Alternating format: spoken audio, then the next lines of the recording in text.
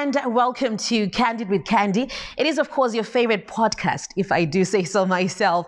I am your host, V Candy Madlamini. And uh, hey, the fact that you're here, it means that we are already quoting Auntie. So do the right thing, subscribe. That is, if you have not subscribed. And also, can our subscriber, uh, please press on to that notification bell so that Patino drop our content. You don't get to miss any of the content that we drop because trust me, this year it's going to be so amazing. So today, ah, I'm just so super excited and stoked uh, because I've been a fan of this huge personality for a very long time. She is an international singer and songwriter, pl- platinum selling um, artist, and uh, she was the lead singer of um, the platinum selling group, The Noisettes. And uh, also, she's just been doing her own thing, pushing the envelope and just representing the country's flag high. Her name is Shingai Shingai Shoniwa. Hey, welcome. Hi, Candy. Thank you for having me. What an amazing introduction. Thank you. you are looking amazing. You're looking so beautiful. So are you. I feel like we, for those who can't see, there's a lot of colorful um, things happening. There's pinks and turquoise that you're wearing. Yes. I feel like we're complementing each other. And I absolutely love your style, hey. Thank you. But um, before we start, um, and you know, to just get into the detail of the interview, I just want to dig into your personality and confirm or deny if this is true. So you are decisive, you are strong-willed, hardworking, uh, endowed with excellent intuition. Wow. Um, yes, and um, also a variety of talents. But then your challenge sometimes is that you don't know when to stop. Yes, I definitely feel like I was born on a mission. I'm here in a mission, and I'm really grateful to be able to use those gifts, talents, and blessings that you talked about to achieve that mes- that that mission. So yeah, it's definitely hard for me to just turn the lights off and go to sleep at night. so I got it right. You're really yeah, spot on, spot on. September one. That's your birthday. Yeah, I, yeah. I don't do the whole runner-up thing. It's first or first for me. Wow. I, I was born, I was born on the 5th of September myself. Oh my gosh, you're yes, a Virgo. I am. Come on, let's get it. I feel that's definitely a um, um, a common Virgo trait with the hardworking, attention to detail. We lo- we love to work. It's just the thing, something that we, we do. And you you have been pushing, you have been doing that, and uh, we are so pleased as a nation to be associated with your brand. Wow. Shingi Urisoko Stina. Oh, this You is, are a Soko. the accolades just keep on coming. Yes. I'm, I'm so proud to, you know, to do my best to um, remind the world what our beautiful people um, have to offer. So yeah, I'm a proud Soko, and my mum's a Shumba, and I'm learning more about uh, the totems. But there's just so many, so many amazing um, things that Zimbabwe has to offer culturally. What do they say is peculiar about your your totem? Um, the Well, Sokos, like my branch manager. That's what, they, that's what they call us, you know. Um, and you can, arguably, you can see why. Uh, I can see there's a lot of um, powerful, ambitious, uh, successful, talented sokos in the um, in the uh, international spotlight, and there's something about. Our agility, our ability to adapt. Uh, and they say, you know, that sometimes you take on your animal guiding kind of uh, um, energies from the animal. So for me, being a Soko helps on stage because it means I've got that, I'm agile, I'm mobile, I'm hostile. I mean, we, we've watched you on stage, and the Yes. energy is just impeccable. You are yeah. there. Yeah, the monkey comes out on stage. Um, I think people saw that at the Winky D concert recently when they they weren't expecting me to bust a cartwheel in the middle of a song. So yeah, that's the kind of thing I guess you'll you'll get used to from from this Soko. When I'm on stage, I give it my all, and I do like to leap about and you know deliver the musical message. You know, in, in other ways as well. It just the, the, the music just takes me and, and I just go for it. It- It's it's beautiful. Like um, when you are on stage, you are you know you're just free. There is just so much freedom that you are articulating Thank to you. your performances, and um, you're not inhibited in any way. And I absolutely love that. Sakakumusha, have you been there? Do you go there um, to the rural areas and experience that setting as well? Kumusha is my happy place. Anyone who knows me can testify to that. Um, if I haven't gone to Kumusha within a few days or a week of landing, I don't actually feel like I'm home yet. Uh, so yeah, my mum's uh, Kumusha is in uh, Seke and um, Okwaseke. Kwaseke, yes. Okay. And we we live by a beautiful, beautiful river with all these amazing, huge balancing rocks. We even have um, ancient cave paintings on our um, on, on our land, and um, we we grow a lot of amazing fruits, vegetables, the trees, the kids. The kids are amazing. The music is there. My dad's kumusha is um, in Chishawasha, so I've yet to um, continue to deepen my connection with that place because my father passed away when I was 10. So um, every time I come back, I, you know, um, I meet uh, new family members and people that can kind of, you know, introduce me more to the Chishawasha side of things. But um, I have been to Seke this week on Tuesday and I really? loved Wow. it. Yeah, it was awesome. So you go that often? Well, I, I literally got here, I think it was uh, maybe 13, 14 days ago. I got here on New Year's Eve, did the uh, Winky D rehearsal, Also, you got did here the right show. on time for the Winky show. Oh, yeah, just in Oh. time. And then um, I think it was about, yeah, maybe five, six days after that, we went to Kumusha. Okay, so do can you be like on the on the, um, whole fire, do the whole fire thing, Uchimika, like Uripamoto? Yes. Can you do it? Oh my days. Okay, so the whole cooking on the fire thing, um, I'm still like st- slightly traumatized. So when I was about, um, yeah, when I was about ten, and actually, you know, my father passed away. We we went to go and stay um, for a little bit, you know, to, to kind of heal those wounds and bond with Gogo in Malawi. Uh, so yeah, Gogo's Your from Malawi. uh, your dad's- mum's mum. Your mom's mom. Yes, oh, okay. yeah. See, um, I feel like a lot of us are what I call Bantu remixes. You know, as a musician, I often put musical terms to things that are hard to describe without people getting emotional. So when you say, you know, you have different cultural influences from the Bantu, sometimes people are like, oh, what does that mean? Do you belong here? Do you belong there? Personally, I've, I'm Pan Africanist. I feel like we all belong wherever we want to go in the in the Bantu lands because a lot of these borders are very recent. However, with these borders given, I would actually be Zimbabwean, Malawian, and Mozambican. That Bantu remix. You call it a Bantu remix. It's a beautiful, it's a beautiful mixture. And so when I went uh, when I was ten to live with Gogo, I was so like keen to like fit in with all my cousins because they were so cool. They could jump, they could run, they walked ten kilometers to to school. They could um, climb mango tree really really quickly. And I thought I was somebody coming with with a pair of trainers and a tracksuit.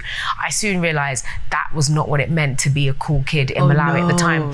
So I saw what my cousins are doing, and they would light the fire and they would cook the what we call we call it insima um, in Malawi. What so, is that? Sadza. Osadza. Mm. Okay. Sadza, yeah. So many African countries have their own version, but I feel like we all have this staple staple starches, right? So in, in Malawi, Sadza is called um, it's called Nsima. So when um, they went they went to cook, I was like, no, I can do it. I want to give it a go. And um, they were like, mm. They looked at me and were like, who is this city girl? Who's this little, you know, this this this girl from London thinking that she can actually like cook and simmer?" But they let me do it, and unfortunately, I got properly scolded. Oh, the, the cooking pot bubbled and bubbled all over my left knee, and um, I hope I'm not traumatizing anybody. traumatic. You know, no, it's actually it's actually uh, uh, it actually turned out to be a nice story in the end. But anyway, so so the cooking pot bubbled over, and then like it just dolloped. The hot and nsima went all over my my my little knee, little shing's little knee, and um, and I had like third degree burns. Oh no, Shingy, you're laughing now, but then it sounds so have to- hectic, right? th- these things are character building, I you know. I also have my mark from just being naughty and playing with fire when I was young. Yeah. right? That's it, playing with the fire. Yes. Yeah. And, and funnily enough, it was really um, a little silver lining on that was that I actually uh, I actually had um, a brand uh, deal. Well, I, I had um, uh, an endorsement um, uh, opportunity with a company. In the in the UK called Nurture, and they really wanted to work with me because they heard me talk about some of the because it, it, it, it's it's a skincare brand, so they're talking about skin positivity and women being comfortable in their skin. And as somebody that was representing the melanated female, they were asking me about how I feel about body positivity and and what makes me feel comfortable in my skin. And I said, well, I used to um, be really, really nervous about wearing shorts because of this scar from playing with fire. Yes. And they were like, Oh, you still have the scar? well, actually, it's faded now, but this product that I was actually promoted promoting was actually um, something that women were using for stretch marks, eczema, and scar scars, right? Yes. And so, yeah, as me representing my experience, they were like, "We want you to be completely honest and tell us about that." And I shared my story on it on all across socials and Insta, and it, it got so much love. People were like, "Oh my gosh, every women have a lot of us have scars Yes. that we're told, you know, uh, you know, maybe disfiguring or like unattractive, unattractive according to beauty standards. And you I have to think cover now- them in clothes or, you know, just different yeah. things. Yes. But but that ended up being um, a silver lining because I got an amazing branding deal and got to make uh, encourage so many women to feel comfortable about their scars. You know, everybody has battle scars, and a woman came to me and was like, you know what? I used to hate my stretch marks on my belly from my pregnancy, but now my little boy calls them. He's like, Mom, they're your tiger stripes. Wow. So me, always find a way for art to um, renew a situation that could have been traumatic and turn it into something poetic, beautiful, and to, to just re- re- reclaim your confidence. Wow, and it's such a beautiful perspective, really, Right? to um, turn lemons literally into lemonade. exactly. That's what we're doing. That's what we're doing. So let's talk about um, this Shingi girl who grew up in South London, born and bred. Um, and you say that your community had a whole mixture of um, different Africans. Dia- yeah. African Diasporans. diaspora. That's right. Yeah. Yes, and Caribbean diasporans as well. and Caribbean diasporans. Like, how was that um, involvement with those people, and how did it influence this artist that we see? Um, yeah, It, it- was a very strong and nurturing community to be part of because it meant that, um, you know, people came together in the face of um, really brutal issues that they were facing then on an even greater scale. Issues that a lot of communities in the diaspora still face, such as uh, you know racism, uh, gender-based violence, um, ostracization, the glass ceiling. Yeah. Um, you know, uh, there was a lot more, a lot more poverty because I guess you had, you know, that first generation of a lot of um, uh, African diasporans who a lot of them had left countries that were in places that were in conflict. So there was a lot of healing to do in those communities, and that healing was often achieved by sharing the musical culture. So, you know, um, uh, in my area of South London, there was a lot of uh, Jamaicans, Trinidadians, Bajans, Nigerians, Ghanaians, um, later on Kenyans. There was, you know, there, there, there was just a lot of a lot of black people finding this beautiful commonality. A lot of blacks and Asians actually in the diaspora growing up, we really, really cling on to our blackness. We celebrate it. We're loud. We're proud about it. And I'm just really, really keen to see how um, us in the diaspora can just co-celebrate the positive things about what we are with people back home because I know that people back home have st- are still in the place where a lot of these uh, challenges are happening. and I love how you're passionate about this um, African story, and uh, it's quite intriguing that you're also not assimilated into it for someone who was also, you know, part of the mainstream. Um, how difficult was it for you to just also be there as a black woman as you were uh, the the lead singer for the Noisettes? How was that experience for you, Shing- Shingi? Well, um, not only not only being the lead singer, but also being the bass player And the bass player, and playing yes. guitar mm. and a songwriter.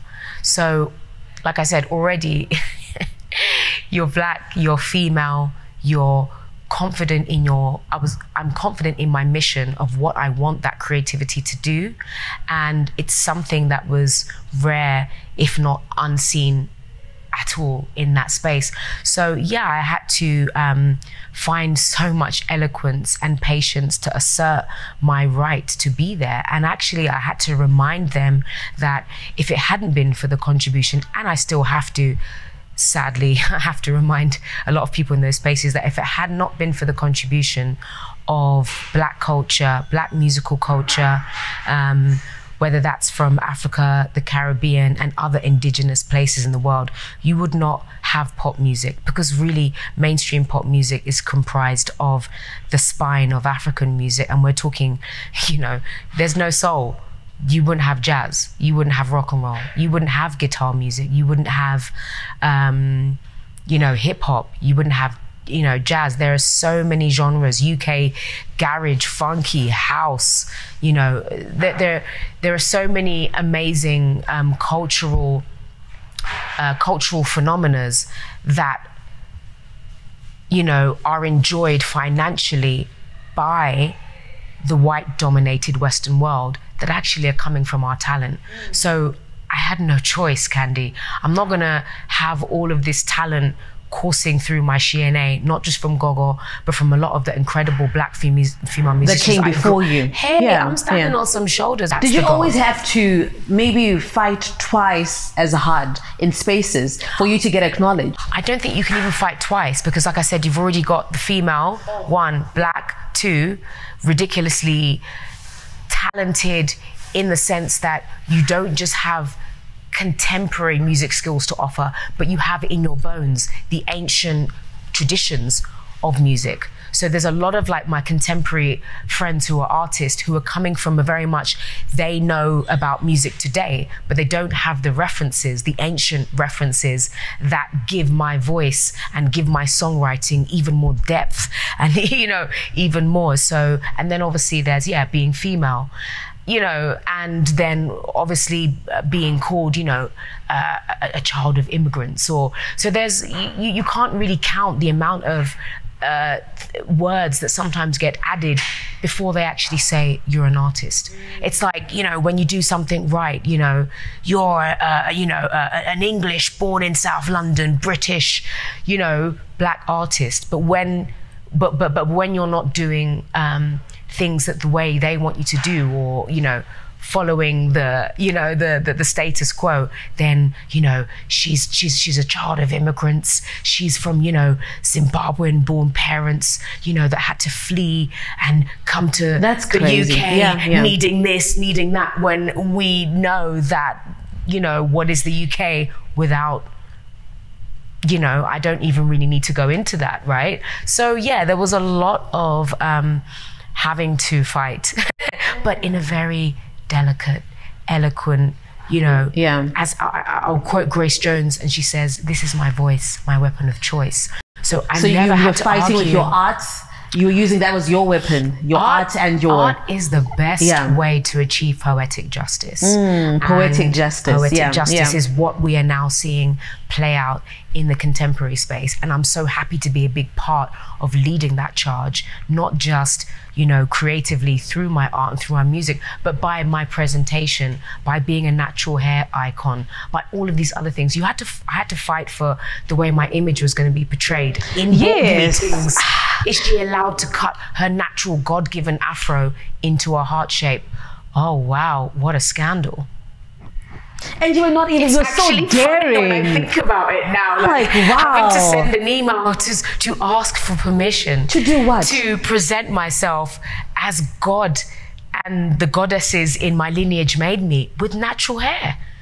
Can you imagine having to sort of like ask What is the other alternative or what was the standard?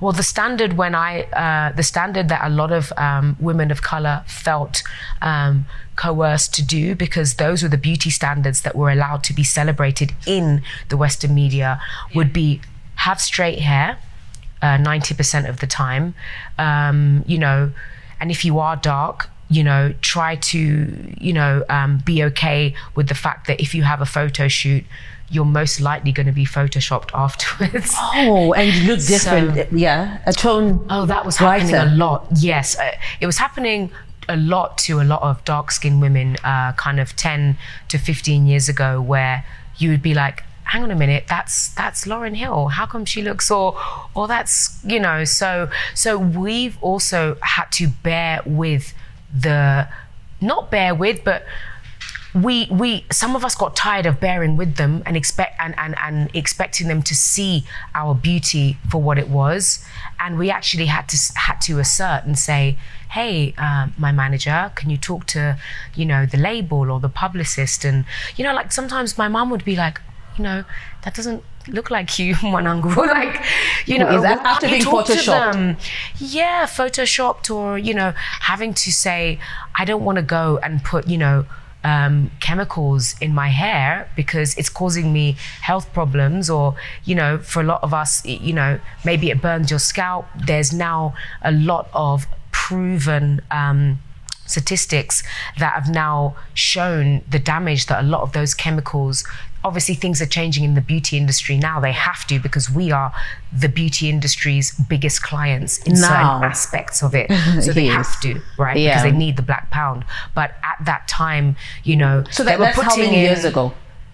we're talking about it's still happening now Yeah. in the beauty industry, but it was happening a lot more, I'd say five, ten years ago, where we felt uh, a lot of black women felt pressured to Yes. adhere and conform to Western white beauty standards. So, you know, I've always just tried to just try to you know, tell myself that I'm doing the right thing. I also grew up with a lot of amazing females that inspired me that did the right thing that I would, you know, kind of just you know, like I said, people like Lauryn Hill, people people like Lauryn Hill, people like Nina Simone have have contributed to changing legislation in the civil rights music.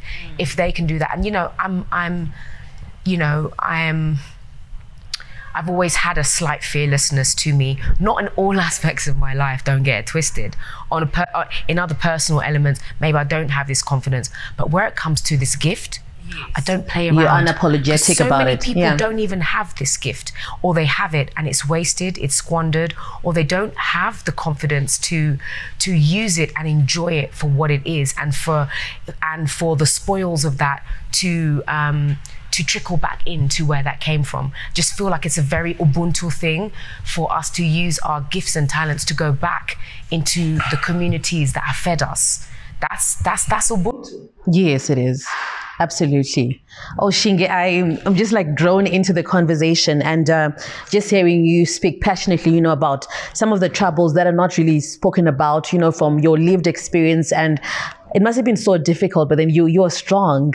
You managed to sell albums, millions upon millions, you know, of copies and in a community and society, you know, that was not as easy, right? Yeah. It's true, but Yeah. now um, I wouldn't change that for the world because you know, um, you know, like they, that, like they say, even in you know, even in certain you know uh, religious books before revival can happen you have to have restoration and i think culture is a big part of the restoration of dignity of the restoration of our whole story because like i said like you know these challenges or colonialism or slavery or um, they are not the you know Chima, chimamanda ngozi, ngozi adichie talks about the dangers of a single story.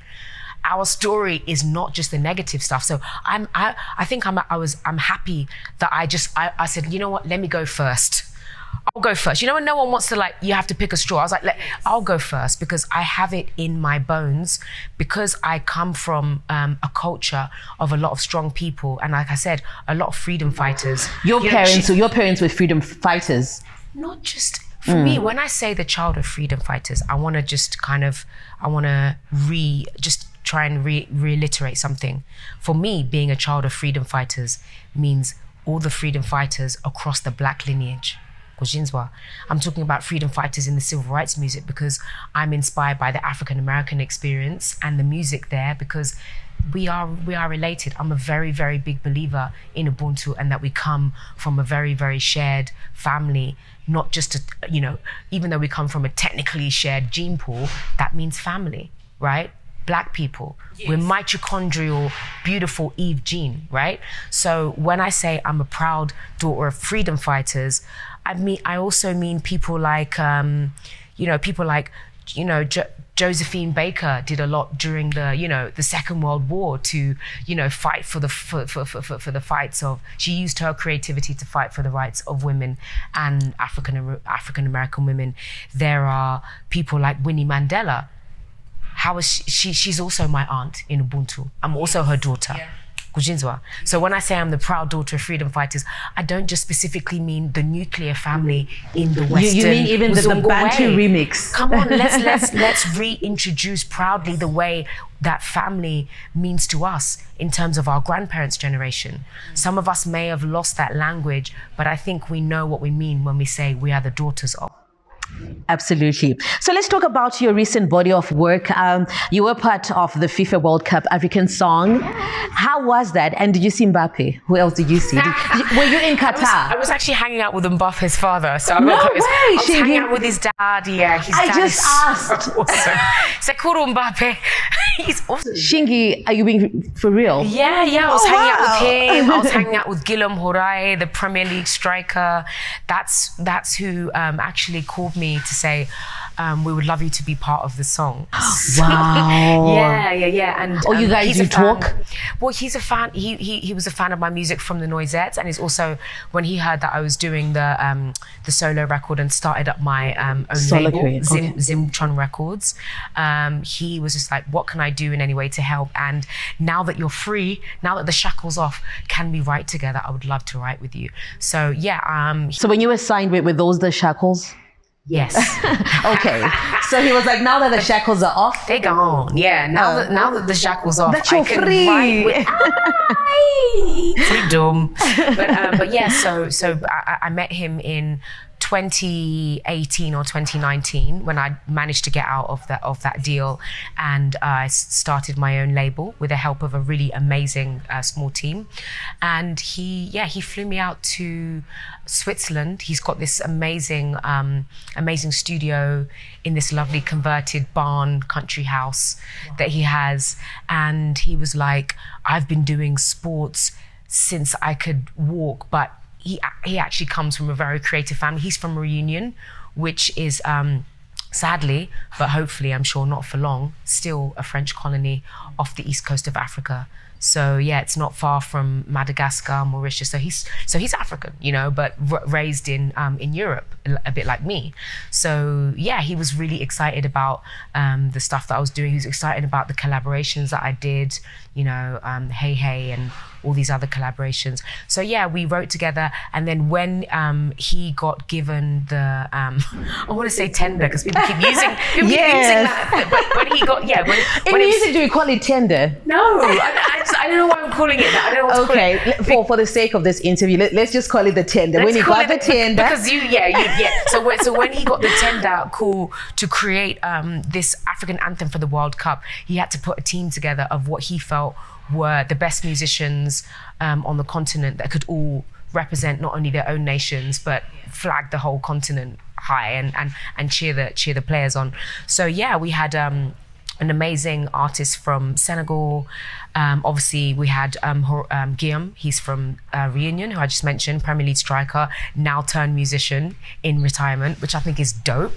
Wow. And yeah, and then you had me representing Zim or the Bantu remix. The Bantu remix. Then, yeah, and then you had uh, an amazing Congolese artist and Manifest from Ghana, who's also performed here at HIFA with myself and Ten Diamond in 2018 in HIFA. So it was a really amazing opportunity, and people are still loving the song.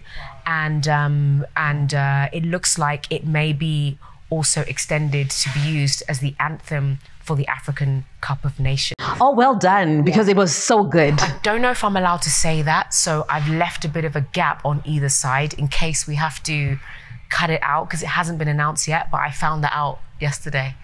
So yeah, apparently they're going to use it for the African. Oh wow, that's beautiful. Yeah. Well done, Shingi. You are not stopping. The shackles are off, and go your movie. I've got make up for lost time, and you know it, it, wasn't all bad. Like I got to travel. I got to have, you know, I got to have so, such an incredible music, professional musical foundation, yeah. and and you know. I guess the only thing that was maybe missing was having more creative experiences on the motherland and actually ensuring that the success of the Noisettes and Shingi translated to driving prosperity and helping to build a creative industry here, which is what I'm finally getting the chance to do now, which is why I'm here. Which is why because you're that's not something that often when you are signed to these companies, you kind of feel like you're their property. So if you say, oh, I want to go and do shows in Africa, you know, and obviously that was also before it has to be directly beneficial to them, so you can't. them, which yeah. means they are still that. But then that means they are still making money and reaping the rewards of you know of our of, of, of our talents of our skills. And it's it's it's really beginning to turn around now. So so that um a lot of you know a lot of the um the growing african creative industries are beginning to think more independently it's very important. African ownership black ownership is really really important in what i do because um, i still don't own the rights to the noisettes Well, you still um, don't. material but that doesn't bother me at all because So when- when when the songs uh, are being sold and uh, are being played, you don't get to benefit any any I'll penny an of that. I'll give you an example. No, it's, it's, it's it's not that I don't get um, any penny from my publishing. It's just that um, they own the rights to the images. They own the rights to. Um, it's it's not something I want to go into now because I don't want to bore people that don't really know The much about the complexity of the music industry. But it's very much set up to benefit a few um, a few families that keep the wealth in the same um, kind of place. It's it, it, it's now come out, you know, thankfully, how much of a, a monopoly the creative industries are and how most of the people that are benefiting those industries, i.e., people of color, have not in the past been able to benefit in the way that we should. But that's all changing now. So I'm actually glad I went through that experience because it taught me a lot. And I wouldn't have learned about how, you know, how the mechanics of it are. And it wouldn't give me the wouldn't give me that drive to not only get the poetic justice, but like I said, to, to restore the remunerative justice that we deserve by inspiring us Remunerative justice. I love that. Yeah. remunerative justice that we deserve. And that's why I'm always inspiring and trying to encourage people. Yes, we can partner with companies in the West. Partner, but know your worth. You're Know not how to selling your, your your rights. Okay. Know how to negotiate and ensure that you, you know, you have enough ownership so that you can pass you can pass it on. Um, as I say that for a long time, I, I've been a follower of your music. This collaboration that you recently dropped with Winky D, Zimbabwe, Zimbabwe. How did that come about? Like, um, who reached out to who? What happened? Yeah, so I've been a huge fan. In fact, like our whole family is a huge fan of Winks ever since um ever since Abracadabra. I've just been like a lot like diehard fan. Um, collaboration is really important for me and I feel like it's going to be a big part of our kind of you know revival and the success story um, of us um, as Zimbabweans putting our sound on the world stage.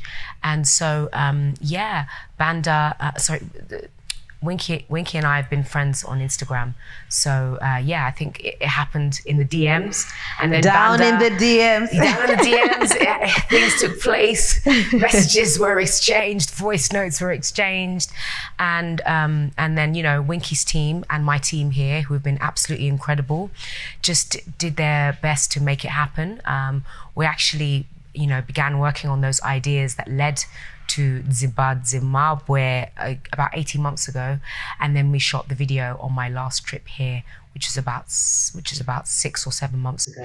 And how were you guys um, so quiet about it? Because I've been seeing, you know, the collaborations being dropped and we knew nothing, not even pictures, nothing. Honey, we were all sworn to secrecy, my darling. and you know what? I actually feel like even if I wasn't, I would still, I still respect the fact that, you know, the way that his team likes to do things.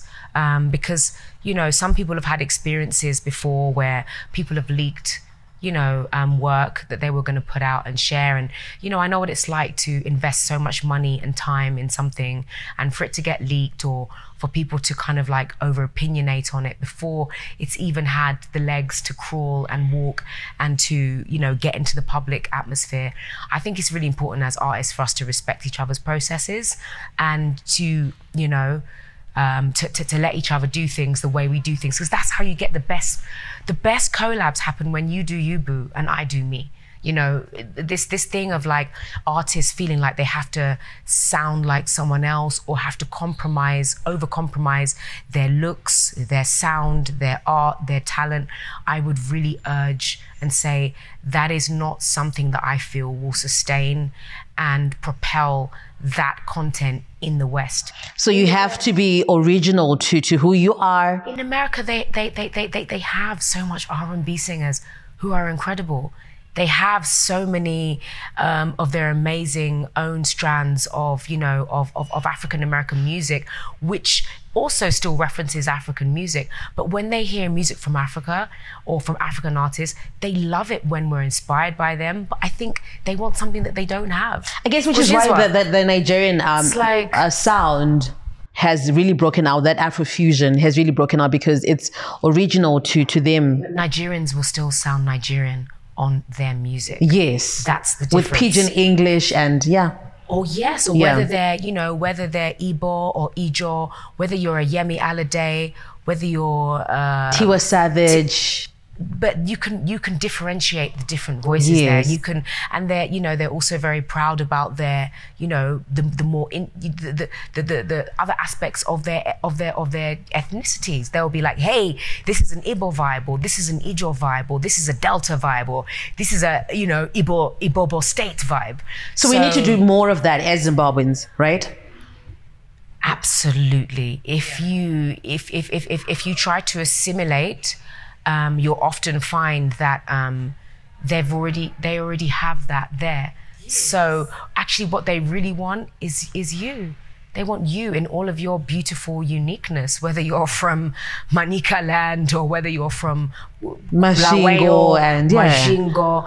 The rhythms in this, in the in the in the languages that we have in in in in the Southern African Bantu are amazing. Some of us have the clicks. Some of us have so many different ways of rapping, of singing, of um, you know infusing um, traditional instruments. And if you look at someone like Jah Prayzah, it's that's why he's a big reason why he's crossed over and he's got a massive, you know, African following. Nigeria, Tanzania, in, in, in, in America, in the UK, in parts of Europe, because he was not ashamed to channel the Mbira vibes or whatever he felt it. like. Yeah, yeah. Obviously, you have to do what inspires you as an artist, but but there's something about being authentic and genuine that puts you in good stead if you want to be here for the long run. Thank you so much. And that's a TED talk from Shingi. Thank you. Oh, it has helped you know, someone. Uh, yes. I've been looking forward to this so much. I was like, let me put in as much as possible. You can always add edit. And that way, even if you use 20% of it, it's still going to be lit. I know, hey. But then before you go, um, we need interpretation or for you to break down for us the lyrics for Zimbabwe. Uh, what were you trying to articulate or to say? So what um, what I feel is being achieved by my part in the song is that I'm saying, so listen to me softly, time to rise up my family. What you thinking? Did you miss me? Sing it with me. Is this the land? I'm talking about Zimbabwean unity, which equals African unity, which equals um, a better future for all of us if we want to heal, if we want to reclaim our sovereignty, our rights. Um, for me, I was severed from um, connections to the land. That's why I say Mwana Wevhu at the end of it, because it's such a beautiful statement to me because a lot of us grew up in council flats or grew up in concrete, glass, all of these outside synthe- of these of synthesized environments, man, you know? So you're like you're like this wild, beautiful bundle flower, or like a rose trying to burst through the cracks of the concrete. And um, you know somebody trying to sort of often suppress what's beautiful and what's raw about the raw diamond that you are. So um, for me i was singing it from the perspective as a diasporan, we we didn't get to grow up with even having the ability to plant uh, you know, mil- cobs or eat organic, amazing food. Costs of living are so high that, you know, we don't I think sometimes the grass is always greener.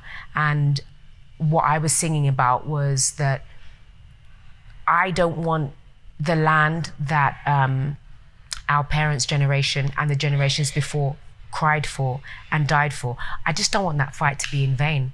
So let's make something beautiful of this place because we do have, you know, we do have certain freedoms that a lot of African co- countries are still nations are still in the infancy and on their way to getting. You know, um, I know things aren't perfect, things aren't rosy, but we can't go to that next level unless the diaspora and the people at home get together and make a beautiful international Zim baby. That's just what has to happen. That's what the Nigerians have done. The, the, the, the Ghanaians very much embrace their diaspora and vice versa. That's what the Indians have done vice versa. So I feel like we have this unique opportunity to um, revive what is really, really cool about Zim culture. Don't be ashamed of it because it's popping, it's lit, and trust me, when I'm in the UK, people can't get enough of it. So to come here in and their see, faces, yeah, to come here and see people, you know, not being sure if they can confident about can be confident about it, it breaks my heart. So the negativity, okay. Am, yeah, yeah, that's what I'm I am achieving in that song is saying, time to rise up my family, listen to me softly, let's get together and yeah, let's do it, man. Wonderful, beautiful, yeah. Shingi. Thank you so You're much. So, um, what can we expect from you? You have your record label that's popping right? Yeah, And yes. uh, you're dropping new music. I know yeah. you have a collaboration with another local artist that's coming. And yeah. uh, are we not going to get the name out of you? Um, I'm not at liberty to say right now, just also because I want to protect that artist process as well, like I said earlier. Um, but yeah, there's going to be an, uh, a song that I'm so excited about that's going to be dropping in uh, March. And um, and I'm very excited about that. I'm excited about more collaborations. I'd love to meet more uh, Zim artists. Um, I'm really impressed by the levels of entrepreneurship here in Zim. You guys are literally just so freaking like nonstop. It's it's it's you're relentlessly just applying the Zim intelligence, knowledge. People are working, skill. right? People are working. But now what we need to do is just keep working together more, keep partnering with each other. Those collaborations, and, yeah. And, and, begin to enjoy it. Because you know what, it's been a it's been a lot of the of of, of, of, of, of the downturn times. There's been a lot of challenges. And the challenges won't go away. But when we always compare it to what the other generations faced, we have more liberties than any of the other generations had during colonialism, during slavery. So um, we have to pick ourselves up off the floor and know that it's our time. So uh, one more thing, I was so so happy um, when I was reading Adele's story, and uh, she was like, you were one of the people that she acknowledged, yeah. you know, yeah. um, that you were part of her process, yeah. and it's beautiful because it's not every day that a black woman, you know, is acknowledged and you know part of the story or the bigger story. Um, you guys were neighbors with Adele. Yeah, yeah, that's right. Yeah, yeah, we lived next. We pretty much lived together. We were in each other's lives for a good um, a good five to ten years. Um, wow! Um, yeah, we before she blew up. School. Yeah, before. Yeah. Okay. Yeah, before I was signed. You know. when I still had a norm, when I still had a job, well, three jobs at the time, and was still going to college. Um, we both went to the Brit School, which is a performing arts and technology college, and um, yeah, I had so many jam sessions at my house. I was. Oh, you would host it. people. Yeah, man. Wow. I'd have the best house parties ever just it, it, it, would just be lit. Some some of the most amazing musicians from yeah, you know, South London and East London. In fact, you know, London would just come around to ours. And and her mum is also um, an artist, so she kind of you know would let her come and and, and, and hang out. So I think I actually feel that it's really really important that we do acknowledge each other. Um, because mu- in musical lineage, it's usually uh, black women that get left out. So yes. I actually, um, I'm really grateful for her to have done that. And I think we also need to do that the same for each other. So, you know, black female artists coming up now, don't forget to to rep your female black artists and artists that have come before you because otherwise they get written out. So, yeah. Shingi, this has been amazing. Thank you so much. Um, I know that we bumped into each other last year, and the, the, there was the one song, "No Fear," that was that I was, you know, like just absolutely loving. And well, to have you here, part of the show, it's totally amazing. Thank you for supporting, you know, and also for supporting the new work. This really is the era where we are changing up the game, as I said in No Fear. So it's an honor to be part of your show, Candy. And uh, before you go, um, I just have lyrics to a song, so I want you to guess which song that is, okay? hanzvadzi yamai vako zvaisingarime iwe haiwa horende iye iwe nema msasa who's the artist oh, I love the song Nemam Sasa.